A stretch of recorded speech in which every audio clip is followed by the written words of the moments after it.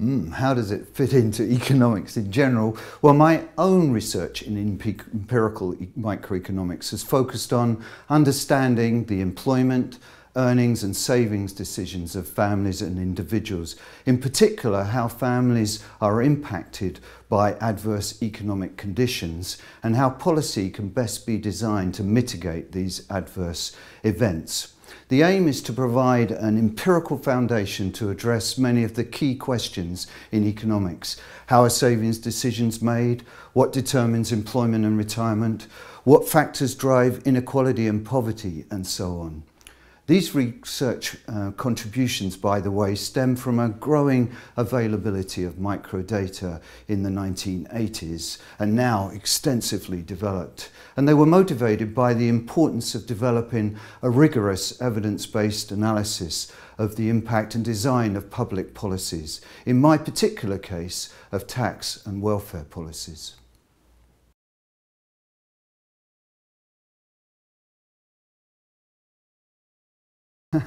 a good question. Um, Well, my research is driven in part by policy questions. Uh, they stimulate all of our work really deep down, but also by a curiosity to understand the behaviour of individuals and families, really with the idea that by understanding behaviour better, we can design better policies, make the economy work better.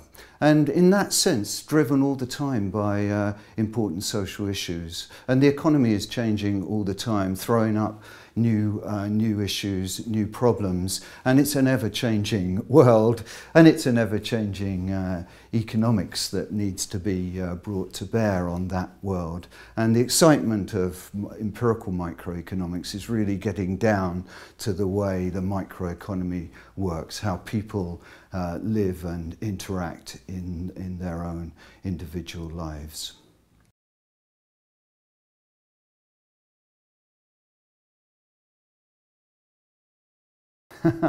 Another good question. Um, well, my, I, have always believed strongly, and I think uh, this has been borne out by uh, research and policy together, that um, you can't do good policy without really understanding behaviour.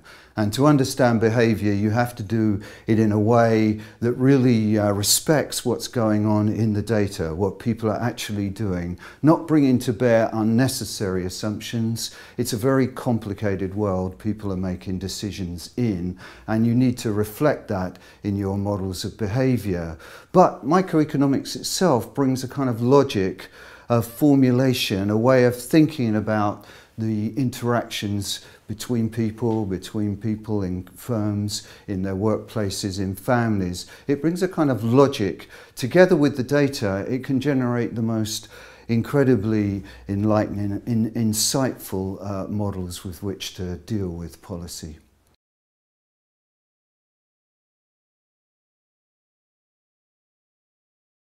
Oh, well, you can't underestimate the importance of uh, large data, certainly in what I do. Uh, it's all based on uh, microdata, that is data that surveys, longitudinal surveys that follow individuals that are linked with administrative surveys, perhaps on their schooling behaviour, on their visits to hospitals, to doctors, and uh, their earnings in firms, their pension contributions. If you put all this together, you might stand some chance of really understanding what's going on. So the big data revolution, in the sense that we can now access large amounts of individual data um, has been absolutely critically important in the development of this work. But that alone isn't really enough. Uh, what's happened at the same time, and we've certainly contributed to this, has been the development of new, what we call microeconometric techniques. That's methods, computer methods really, or computer models for trying to uh, elicit what's going on, to try and figure out what's going on in the world we're looking at with all that data to try and bring, in a sense, you know, some logic to the data um, in a way that will uh, help us understand behavior. So the development of statistical techniques, techniques, microeconometric techniques, for studying the dynamics of the world we live in at the micro level has been another fundamental thing that's, uh, that's allowed us to develop this work. And of course, we've contributed quite enormously to, uh, to that development.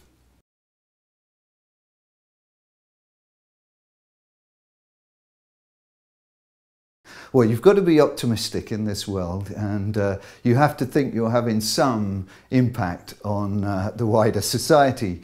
Uh, that's, in a sense, why we're we're here. We might do it through many different ways, um, but I think we, uh, looking back over the years, I think we've been motivated very strongly by social issues and by trying to design improved welfare and tax uh, policy.